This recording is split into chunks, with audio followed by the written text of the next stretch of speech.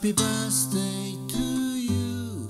Happy birthday to you. Happy birthday, dear Tomioka-san. Happy birthday.